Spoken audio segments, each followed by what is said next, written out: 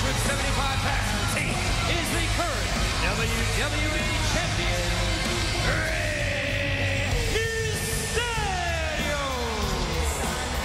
Well, certainly uh, Rey Mysterio is one of the reasons for the consternation of The Miz, because The Miz lost to Rey Mysterio earlier tonight in the finals of the WWE tournament. Ray, I thought Miz was always constipated. Oh, you said consternation. New WWE champion. Here's how it went down earlier tonight. The Miz set up for a beautiful 619.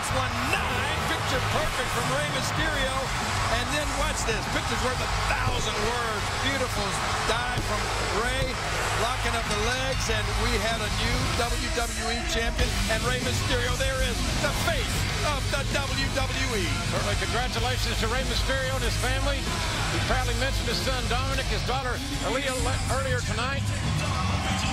They're very proud of their father, as are we, but will their father leave the WWE champion? It's Rey Mysterio being challenged by John Cena. WWE title next.